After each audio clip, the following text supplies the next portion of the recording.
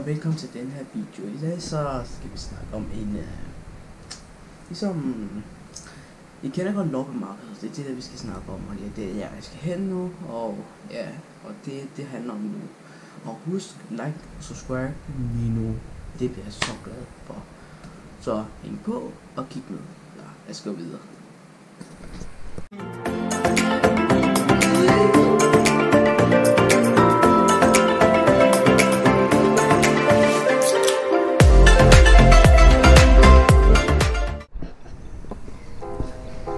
Okay.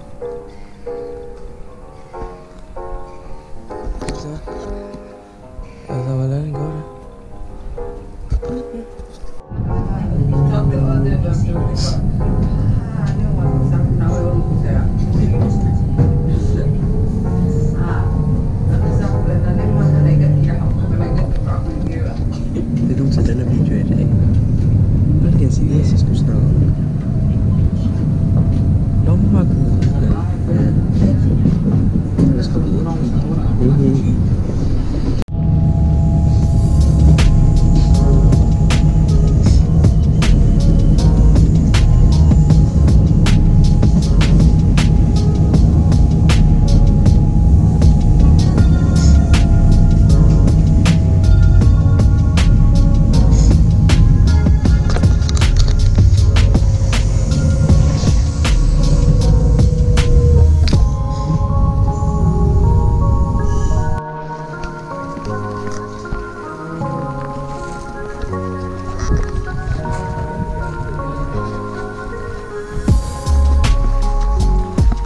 I loppemarkedet lige nu, og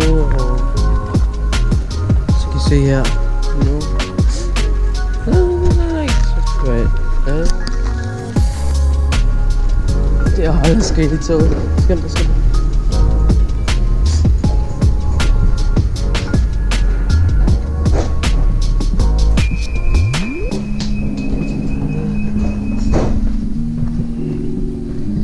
Så går vi ind i toget nu, så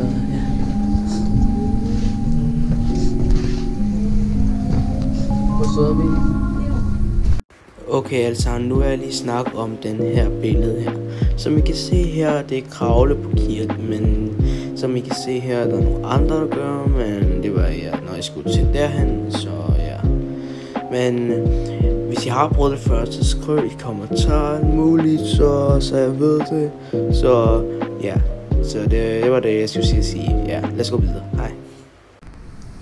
Okay, det er slutningen af videoen. Tak fordi I ser med alt muligt, så like, subscribe igen, hvis I ser det, fordi jeg vil gerne gøre det, så jeg er så glad.